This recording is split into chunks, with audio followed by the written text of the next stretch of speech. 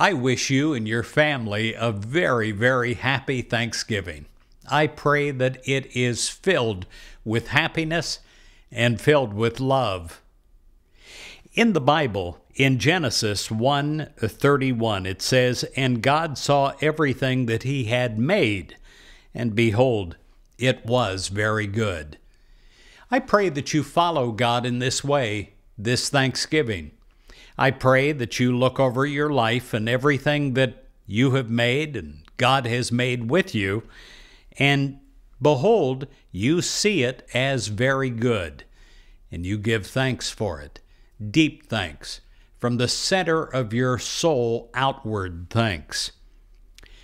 I pray that from this realization that you're never anxious about life, or that you doubt your worth or your value in life itself.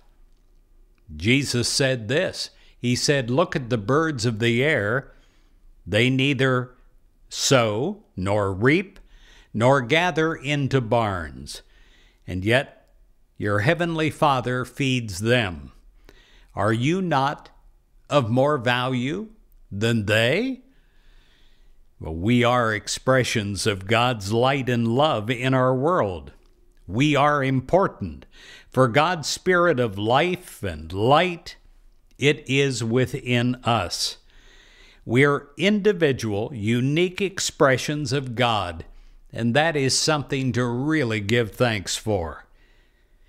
Being expressions of God and God's light and life in this world, we smile, we speak kind words, and we listen attentively to others.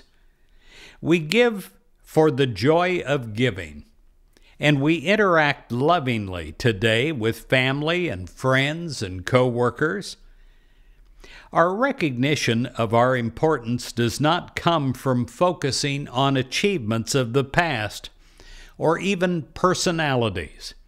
It comes from dedicating ourselves to being expressions of God's light and life into our world.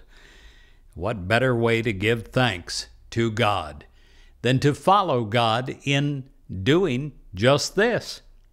I pray that you are an expression of God's light and life in your world this Thanksgiving Day. Again, happy Thanksgiving.